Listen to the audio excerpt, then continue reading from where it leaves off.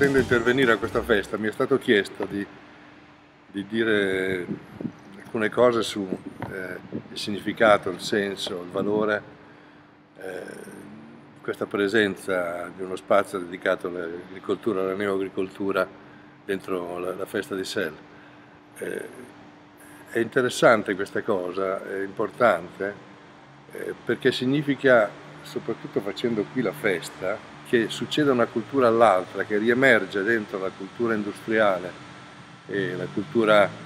eh, dell'urbanizzazione, un'altra voce che è stata repressa proprio da questo sviluppo, da questo,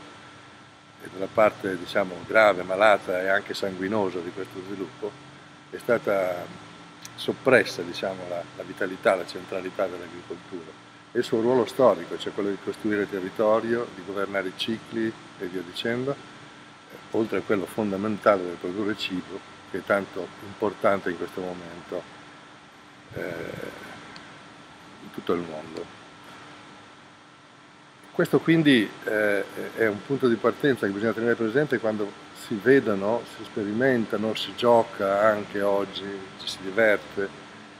eh, con le pratiche della neoagricoltura, col cibo, con i materiali, eh, con l'esperienza del territorio agricolo e via dicendo. C'è un grande significato dietro che dà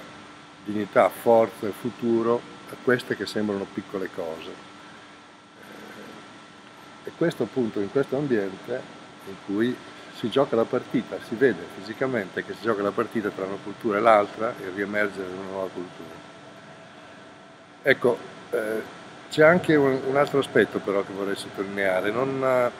tutte queste pratiche sono nate sostanzialmente dentro la cittadinanza attiva, non sono nate dal pubblico, non sono nate dall'alto, la neoagricoltura nasce dall'esperienza di filiera corta, del rapporto tra i gas i distretti, eh, il processo di economia solidale, il, il commercio eco, tutte esperienze diciamo, di pratica sociale. Ora siamo arrivati anche a un punto in cui queste cose, diventando così importante e centrale il tema strategico, eh, tutte queste cose evocano, richiedono l'entrata in campo di politiche pubbliche si parli all'interno diciamo, di una forza politica di questo significa che ancora si, si, si, è accorti che questo discorso sta marciando in questi termini. Allora vedete oggi presenti eh, gas, eh, esperienze contadine, eh, altri che rappresentano eh, il, eh, le altre pratiche di, di commercio ecosolidale, ma vedete anche che ci sono ad esempio evocate alcune altre dimensioni come quella di Milano Ristorazione per esempio, che significa una grande domanda pubblica che dovrebbe incontrarsi con i codici di queste esperienze sociali, con il marchio di queste, la linea di queste esperienze sociali, dovrebbe incontrarsi con la neoproduzione di qualità locale e ambientale. Un incontro, e questa è una politica pubblica sulla quale dobbiamo spingere assolutamente, ma c'è anche il rappresentante del Parco Sud, il Parco Sud è stato a lungo un parco come gli altri sostanzialmente, non è stato investito eh, diciamo, di questa tematica in maniera forte nonostante si chiami agricolo. Questa è un'altra dimensione delle politiche pubbliche che riguarda i fondi europei, riguarda i piani di sviluppo rurale e via dicendo. Ecco, questo eh, quindi è il, il nodo eh, che dobbiamo sottolineare essendo questa una, una festa di una forza politica. Naturalmente nulla di tutto ciò può essere in campo